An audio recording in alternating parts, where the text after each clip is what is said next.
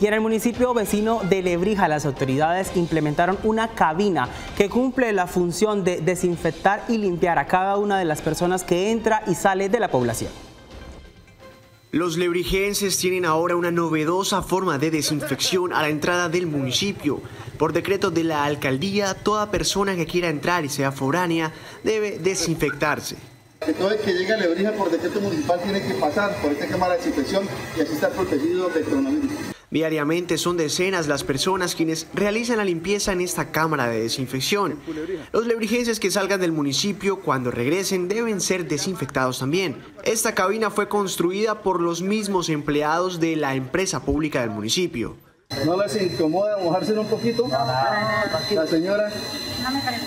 Bueno, sigan, son 10 segundos que tienen que estar adentro, tienen que salir empapados para que de esta manera el producto que estamos aplicando, que es amonio cuaternario de quinta generación, es un detergente, es lo único que destruye el coronavirus. Ustedes sigan con los ojos cerrados y por favor 10 segundos adentro, muy amables.